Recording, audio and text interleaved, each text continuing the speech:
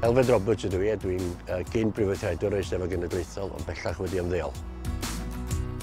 Eisteddfod Genedlaethol Cymru di'r gwyl diwylliannol fwyaf y wlad. Uh, mae hi yn wyl sydd yn para 8 diwrnod ac yn cymryd uh, lle mewn gwahanol lefydd yng Nghymru uh, yn ystod uh, wythnos gyntaf mis Awst.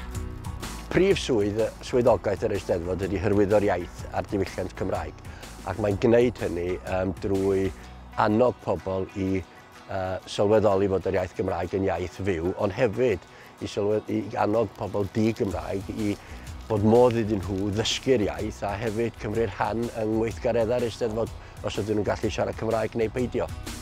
Mae'n debyg mai yr uchafbwynt o safbwynt fi'n bersonol oedd cynnal yr wyl yma ym Mae Cardydd ym mis Awst y Llynad pan ddechreuais i yn y swydd, o'n i'n sylweddoli bod uh, angen i ni wneud yr, yr eisteddfod yn fwy apelgar i fwy o bobl. Oedden ni am weld mwy o bobl ifanc, mwy o blant, mwy o bobl ifanc yn dod i'r eisteddfod, a hefyd mwy o bobl di-Gymraeg.